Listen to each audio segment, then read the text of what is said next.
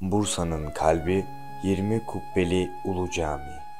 Sıra dışı bir hikayesi olan Bursa Ulu Camii, Yıldırım Bayezid tarafından 1396-1399 yılları arasında yaptırıldı. Tarihte bir başka örneği olmayan Nibolu Zaferi'nin şükür nişanesi olarak yaptırılan Ulu Cami aslında 20 mescitlik bir planın örneğidir. Pratikliği ve gözü pekliği ile Yıldırım lakabını alan 1. Bayezid, 1396 Nibolu Zaferi sonrasında Bursa'da 20 adet mescit yaptırmak istedi. Lakin dönemin önemli alimlerinden olan damadı Emir Sultan'ın önerisiyle 20 mescit yerini tutan 20 kubbeli Ulu Cami'yi yaptırdı. Kaynaklarda mimarı Ali Neccar olarak bildirilen Ulu Cami, Osmanlı mimarisinde çok kubbeli cami formunun en büyük örneğidir. Ulu Cami, İslam dinindeki kutsal mekanlar içinde dönemin alimleri tarafından 5. makam olarak kabul edilir. Diğerleri sırasıyla Mekke, Medine, Kudüs ve Şam'daki camilerdir. Dikdörtgen planlı olan Ulu Cami'nin doğu, batı ve kuzey cephelerinde üç kapısı bulunur. Kuzey cephesindeki taç kapısı diğerlerine göre daha görkemli olup mermerden yapılan Ulu Cami, kalın beden duvarları ile 12 adet kara planlı yığma fil ayaklarını birbirine bağlayan kemerler ve pandan tiflerle oturan 11 metre çapındaki 20 adet kubbe ile örtülüdür. Caminin orta kısmındaki kubbenin üstü camlı olup altında 16 köşeli büyük bir şadırvan vardır. Caminin kündekari tekniğinde çivi veya bir başka bağlayıcı kullanmadan birbirine geçme parçalardan oluşan minberi eşsiz bir sanat eseridir. Minberin doğu yüzünde güneş sistemi, batı yüzünde ise Samanyolu galaksisi tasvir edilmiştir. Ayrıca minberin kapısı üzerinde bulunan kitabede Yıldırım Bayezid'in emriyle caminin Hicri 802 miladi 1399 yılında tamamlandığı belirtilir. Caminin kuzey cephesinin köşelerinde kaidesi mermerden, gövdeleri tuğladan örülmüş birer minaresi vardır. 2215 metrekare alanı kaplayan Bursa Ulu Camii, her biri dörder kubbeli 5 bölümden oluşmaktadır. Eşit büyüklükteki 20 kubbesinin ortasındaki kubbe açık olarak inşa edilmiştir. Bu kubbenin altında 16 köşeli büyük mermer bir şadırvan bulunur.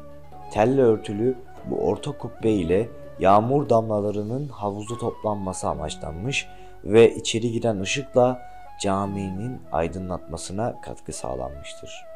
Günümüzde bu kubbe camekanla kaplı olduğundan yağmur suyu toplama işlevini kaybetmiş ama aydınlatma görevi devam etmektedir. Yüz ölçüm olarak kendisinden daha büyük camiler olmasına rağmen Bursa Ulu Cami kapalı namaz kılma alanı bakımından Osmanlı tarihinin en büyük camisidir. Ulu Cami aynı zamanda erken dönem Osmanlı mimarisi çok kubbeli camiler arasında en büyük ve en anıtsal olma özelliğine de sahiptir.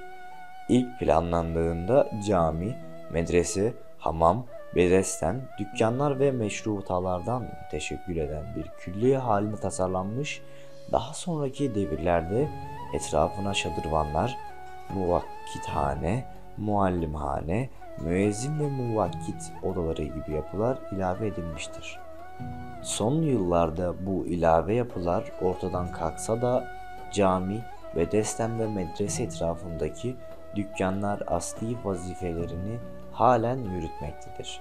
Cami en büyük hasarı 1855 zelzelesinde görmüş, 17 kubbesi yıkılmıştır. İçindeki şadırvan ve duvarlarında yer alan dev boyutlardaki hüsnü hat yazıları Ulu Cami'nin kendine özgü özellikleridir. Günümüzde Ulu Cami'de 21 hattat tarafından yapılmış 45 levha, 87 duvar yazısı bulunmaktadır. Ulu Cami'nin duvarlarında yer alan vav harfi Osmanlı hat sanatının en güzel örneklerinden biridir. Tesip sanatıyla süslenen ve ucuna lale motifi işlenen vav harfi derin anlamlar içerir.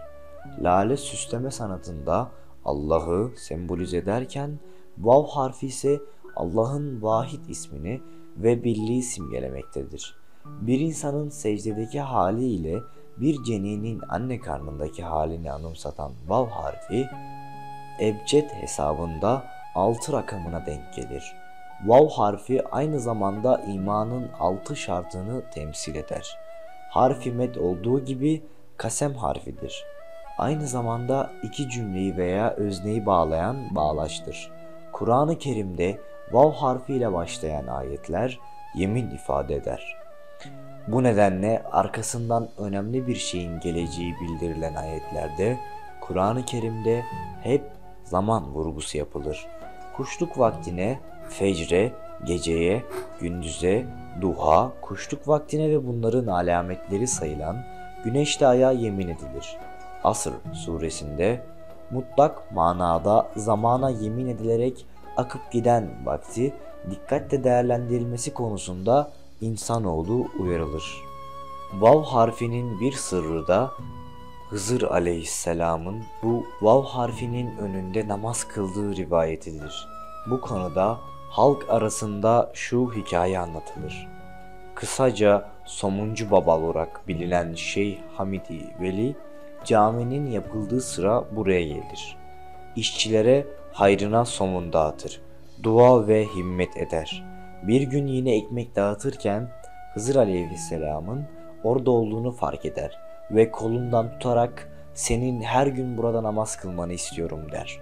Allah'a naz ve niyazı geçen bu büyük velinin isteğine karşı Hızır Aleyhisselam bir şartla her gün bu camide namaz kılacağına dair söz verir. O şartta Hızır peygamberin hangi vakit geleceğinin sır olarak kalmasıdır. Bunun üzerine Hızır aleyhisselam Ulu Cami'deki vav harfinin önünde her gün gelerek özellikle sabah vakti çoğunluk olmak üzere günde bir vakit namaz kılmaya başlar.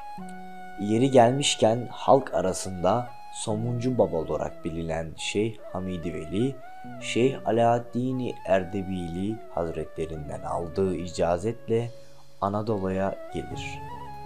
Kaliteli insan yetiştirmek ve insanlığa hizmet etmek için göreve başlayan Şeyh Hamidi Veli Hazretleri Osmanlı Devleti'nin o devirdeki başkenti Bursa'ya yerleşir. Helal kazanca büyük önem veren Şeyh Hamidi Veli Hazretleri manevi kimliğini de gizlemek amacıyla günümüzdeki Molla Fenari mahallesinde ekmek fırını inşa eder. Gündüzleri fırında ekmek yaparak insanlara somun dağıtan somuncu baba geceleri de medresede talebe yetiştirir. Bursa Ulu Cami inşaatında çalışan işçilere de somun ekmeği ikramında bulunan Şeyh Hamidi Veli Hazretleri halk arasında somuncu babaya da ekmekçi koca olarak bilinir olmuştur. 1396 yılında yapımına başlanan Bursa Ulu Cami'nin açılışı 1399 yılında adet olduğu üzere bir cuma günü gerçekleştirilir. Osmanlı Devleti'nde bir gelenek olarak açılışı yapılan camilerde ilk hutbe padişah adına devrin manevi büyükleri tarafından yapılırdı.